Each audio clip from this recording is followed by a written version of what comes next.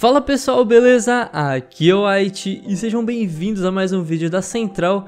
E galera, acabei de postar um vídeo com o Lion há um tempo atrás, algumas horas atrás, talvez umas duas horas, falando sobre as possíveis skins que teve um post no Reddit de um cara falando sobre quantos, quantas skins cada personagem ia receber, quantos itens na verdade cada herói ia receber.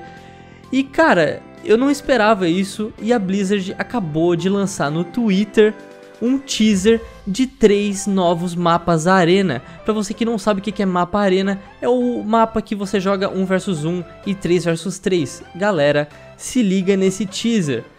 Temos três mapas, dourado, inspirado em dourado, obviamente. A gente pode até ver uma estação de trabalho da sombra, cara, sensacional. Galera, Aikenwald tá muito legal também. E Templo de Anubis. Meu Deus, o Overwatch não cansa de lançar coisa boa e lançar bons eventos. Meu Deus, um ano de Overwatch merecia coisa sensacional assim como novos mapas. O Jeff Kaplan falou que estava em desenvolvimento mapas e eu não imaginava que poderia ser três mapas agora pro aniversário. Mano, sensacional.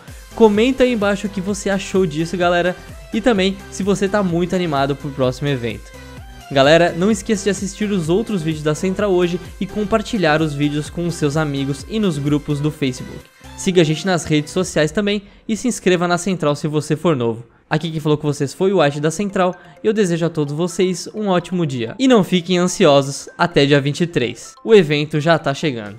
Valeu galera, tô indo nessa. Fui.